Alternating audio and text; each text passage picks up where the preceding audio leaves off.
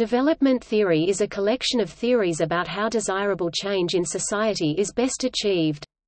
Such theories draw on a variety of social science disciplines and approaches. In this article, multiple theories are discussed, as are recent developments with regard to these theories. Depending on which theory that is being looked at, there are different explanations to the process of development and their inequalities.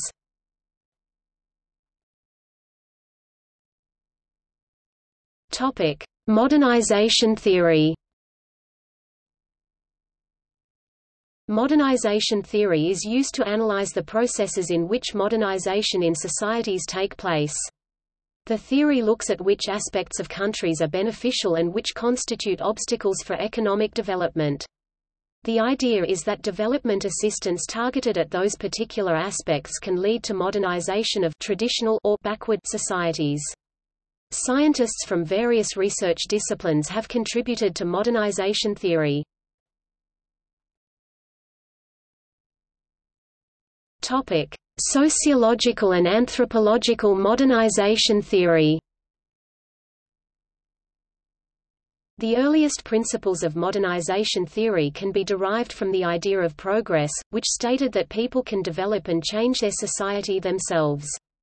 Marquis de Condorcet was involved in the origins of this theory. This theory also states that technological advancements and economic changes can lead to changes in moral and cultural values. The French sociologist Émile Durkheim stressed the interdependence of institutions in a society and the way in which they interact with cultural and social unity. His work The Division of Labor in Society was very influential. It described how social order is maintained in society and ways in which primitive societies can make the transition to more advanced societies. Other scientists who have contributed to the development of modernization theory are David Apter, who did research on the political system and history of democracy, Seymour Martin Lipset, who argued that economic development leads to social changes which tend to lead to democracy, David McClelland, who approached modernization from the psychological side with his motivations theory, and Talcott Parsons who used his pattern variables to compare backwardness to modernity.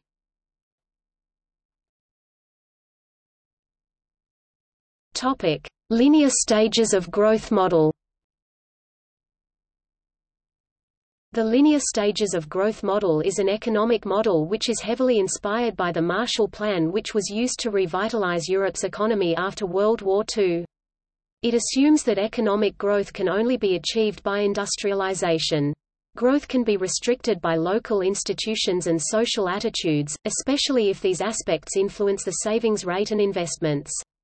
The constraints impeding economic growth are thus considered by this model to be internal to society. According to the linear stages of growth model, a correctly designed massive injection of capital coupled with intervention by the public sector would ultimately lead to industrialization and economic development of a developing nation. The Rostow stages of growth model is the most well-known example of the linear stages of growth model.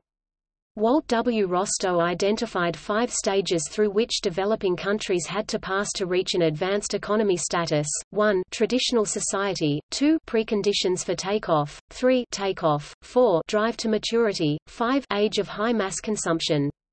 He argued that economic development could be led by certain strong sectors, this is in contrast to for instance Marxism which states that sectors should develop equally. According to Rostow's model, a country needed to follow some rules of development to reach the takeoff. 1. The investment rate of a country needs to be increased to at least 10% of its GDP. 2. One or two manufacturing sectors with a high rate of growth need to be established. 3. An institutional, political and social framework has to exist or be created in order to promote the expansion of those sectors. The Rostow model has serious flaws, of which the most serious are, 1. The model assumes that development can be achieved through a basic sequence of stages which are the same for all countries, a doubtful assumption. 2. The model measures development solely by means of the increase of GDP per capita. 3. The model focuses on characteristics of development, but does not identify the causal factors which lead development to occur.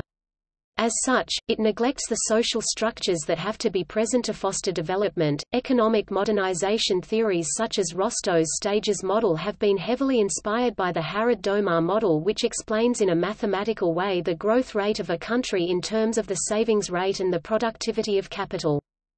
Heavy state involvement has often been considered necessary for successful development in economic modernization theory. Paul Rosenstein Rodan, Ragnar Nurkse, and Kurt Mandelbaum argued that a big push model in infrastructure investment and planning was necessary for the stimulation of industrialization, and that the private sector would not be able to provide the resources for this on its own. Another influential theory of modernization is the dual sector model by Arthur Lewis.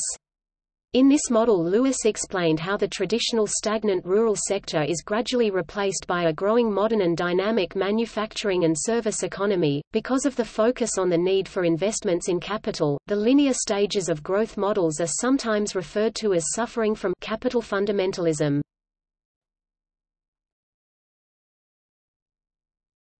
Topic: Critics of modernization theory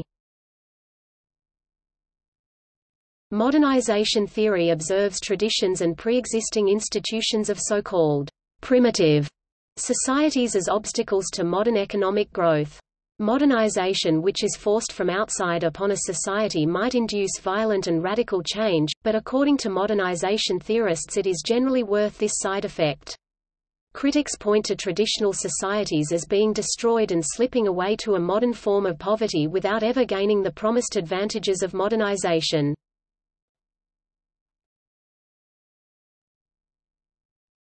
Topic: Structuralism. Structuralism is a development theory which focuses on structural aspects which impede the economic growth of developing countries. The unit of analysis is the transformation of a country's economy from, mainly, a subsistence agriculture to a modern, urbanized manufacturing and service economy. Policy prescriptions resulting from structuralist thinking include major government intervention in the economy to fuel the industrial sector, known as import substitution industrialization ISI. This structural transformation of the developing country is pursued in order to create an economy which in the end enjoys self-sustaining growth. This can only be reached by ending the reliance of the underdeveloped country on exports of primary goods agricultural and mining products, and pursuing inward-oriented development by shielding the domestic economy from that of the developed economies. Trade with advanced economies is minimized through the erection of all kinds of trade barriers and an overvaluation of the domestic exchange rate. In this way the production of domestic substitutes of formerly imported industrial products is encouraged. The logic of the strategy rests on the infant industry argument, which states that young industries initially do not have the economies of scale and experience to be able to compete with foreign competitors and thus need to be protected until they are able to compete in the free market. The Prebisch-Singer hypothesis states that over time the terms of trade for commodities deteriorate compared to those for manufactured goods, because the income elasticity of demand of manufactured goods is greater than that of primary products. If true, this would also support the ISI strategy. Structuralists argue that the only way Third World countries can develop is through action by the state. Third World countries have to push industrialization and have to reduce their dependency on trade with the First World, and trade among themselves. The roots of structuralism lie in South America, and particularly Chile. In 1950, Raúl Prebisch went to Chile to become the first director of the Economic Commission for Latin America. In Chile, he cooperated with Celso Furtado, Aníbal Pinto, Osvaldo Sunkel, and Dudley Seers, who all became influential structuralists.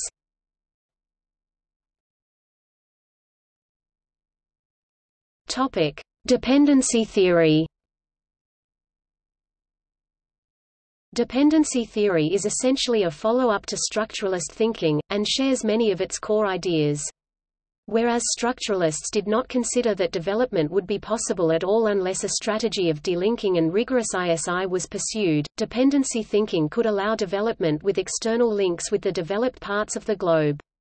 However, this kind of development is considered to be dependent development i.e., it does not have an internal domestic dynamic in the developing country and thus remains highly vulnerable to the economic vagaries of the world market.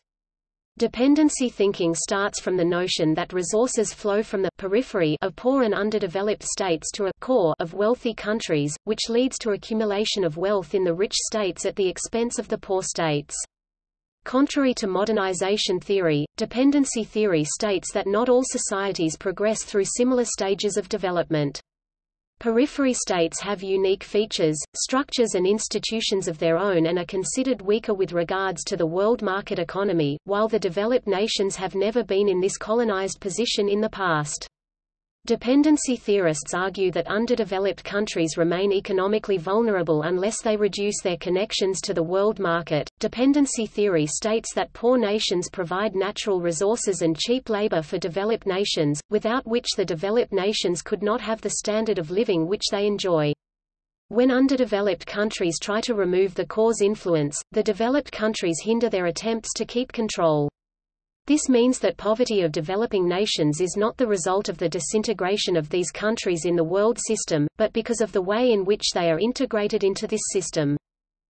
In addition to its structuralist roots, dependency theory has much overlap with neo-Marxism and world systems theory, which is also reflected in the work of Immanuel Wallerstein, a famous dependency theorist.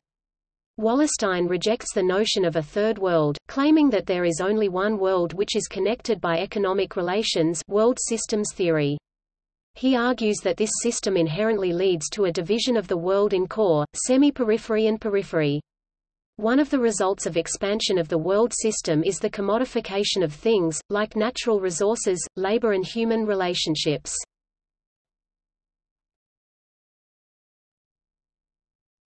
Topic. Basic needs The Basic Needs Model was introduced by the International Labour Organization in 1976, mainly in reaction to prevalent modernization and structuralism-inspired development approaches, which were not achieving satisfactory results in terms of poverty alleviation and combating inequality in developing countries. It tried to define an absolute minimum of resources necessary for long-term physical well-being. The poverty line which follows from this, is the amount of income needed to satisfy those basic needs. The approach has been applied in the sphere of development assistance, to determine what a society needs for subsistence, and for poor population groups to rise above the poverty line. Basic needs theory does not focus on investing in economically productive activities. Basic needs can be used as an indicator of the absolute minimum an individual needs to survive. Proponents of basic needs have argued that elimination of absolute poverty is a good way to make people active in society so that they can provide labor more easily and act as consumers and savers. There have been also many critics of the basic needs approach. It would lack theoretical rigor, practical precision, be in conflict with growth promotion policies, and run the risk of leaving developing countries in permanent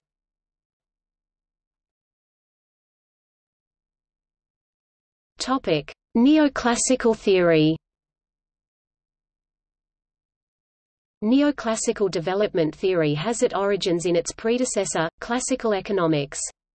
Classical economics was developed in the 18th and 19th centuries and dealt with the value of products and on which production factors it depends. Early contributors to this theory are Adam Smith and David Ricardo. Classical economists argued, as do the neoclassical ones, in favor of the free market, and against government intervention in those markets. The invisible hand of Adam Smith makes sure that free trade will ultimately benefit all of society. John Maynard Keynes was a very influential classical economist as well, having written his General Theory of Employment, Interest, and Money in 1936. Neoclassical development theory became influential towards the end of the 1970s, fired by the election of Margaret Thatcher in the UK and Ronald Reagan in the USA. Also, the World Bank shifted from its basic needs approach to a neoclassical approach in 1980. From the beginning of the 1980s, neoclassical development theory really began to roll out.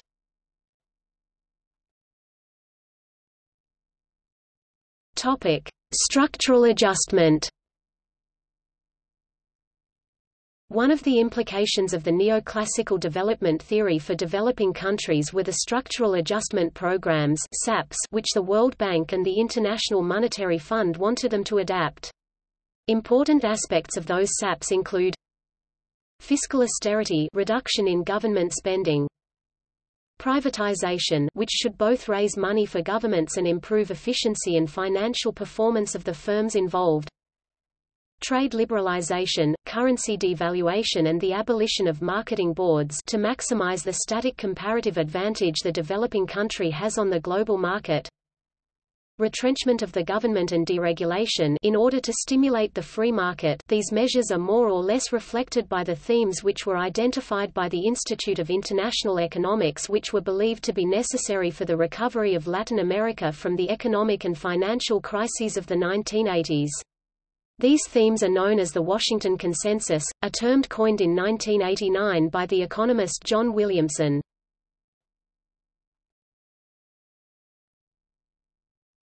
Topic: Recent trends.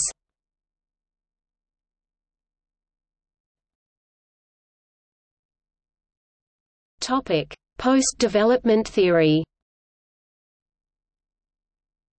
Post-development theory is a school of thought which questions the idea of national economic development altogether. According to post-development scholars, the goal of improving living standards leans on arbitrary claims as to the desirability and possibility of that goal. Post-development theory arose in the 1980s and 1990s. According to post-development theorists, the idea of development is just a mental structure Wolfgang Sachs which has resulted in a hierarchy of developed and underdeveloped nations, of which the underdeveloped nations desire to be like developed nations.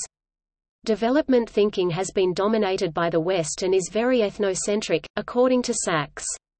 The Western lifestyle may neither be a realistic nor a desirable goal for the world's population, post-development theorists argue. Development is being seen as a loss of a country's own culture, people's perception of themselves and modes of life. According to Majid Rahnema, another leading post-development scholar, things like notions of poverty are very culturally embedded and can differ a lot among cultures. The institutes which voice the concern over underdevelopment are very Western-oriented, and post-development calls for a broader cultural involvement in development thinking. Post-development proposes a vision of society which removes itself from the ideas which currently dominate it. According to Arturo Escobar, post-development is interested instead in local culture and knowledge, a critical view against established sciences and the promotion of local grassroots movements. Also, post-development argues for structural change in order to reach solidarity, reciprocity, and a larger involvement of traditional knowledge.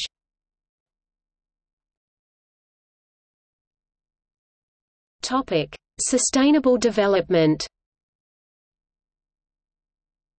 Sustainable development is development that meets the needs of the present without compromising the ability of future generations to meet their own needs. Brundtland Commission There exist more definitions of sustainable development, but they all have to do with the carrying capacity of the Earth and its natural systems and the challenges faced by humanity. Sustainable development can be broken up into environmental sustainability, economic sustainability and sociopolitical sustainability. The book Limits to Growth, commissioned by the Club of Rome, gave huge momentum to the thinking about sustainability. Global warming issues are also problems which are emphasized by the Sustainable Development Movement. This led to the 1997 Kyoto Accord, with the plan to cap greenhouse gas emissions. Opponents of the implications of sustainable development often point to the environmental Kuznets curve. The idea behind this curve is that, as an economy grows, it shifts towards more capital and knowledge-intensive production. This means that as an economy grows, its pollution output increases, but only until it reaches a particular threshold where production becomes less resource-intensive and more sustainable. This means that a pro-growth, not an anti-growth policy is needed to solve the environmental problem. But the evidence for the environmental Kuznets curve is quite weak. Also, empirically spoken, people tend to consume more products when their income increases. Maybe those products have been produced in a more environmentally friendly way, but on the whole the higher consumption negates this effect.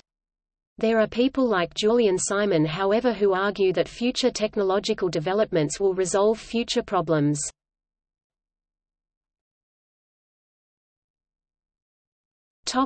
Human development theory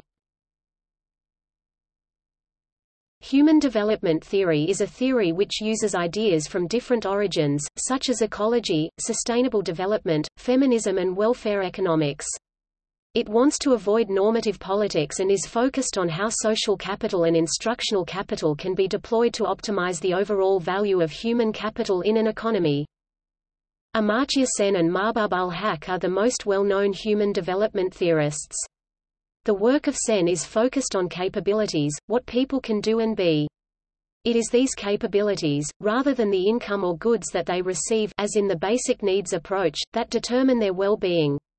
This core idea also underlies the construction of the Human Development Index, a human-focused measure of development pioneered by the UNDP in its Human Development Reports. This approach has become popular the world over, with indexes and reports published by individual counties, including the American Human Development Index and Report in the United States. The economic side of Sen's work can best be categorized under welfare economics, which evaluates the effects of economic policies on the well-being of peoples. Sen wrote the influential book Development as Freedom which added an important ethical side to development economics. Topic. See also Development disambiguation Ecological modernization theory Economic development International development World systems theory